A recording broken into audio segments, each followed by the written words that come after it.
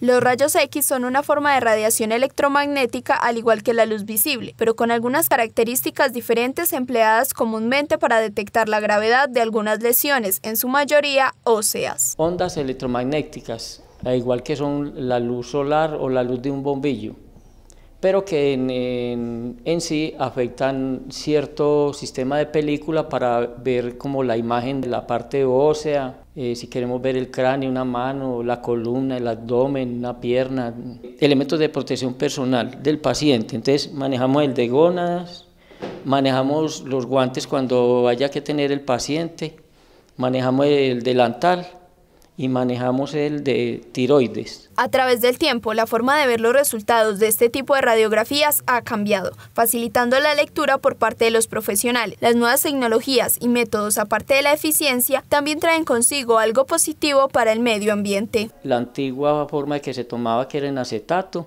se manejaban líquidos que dañaban el medio ambiente. Ya actualmente ya no se maneja este sistema. Aquí vemos una radiografía de pulmones en acetato.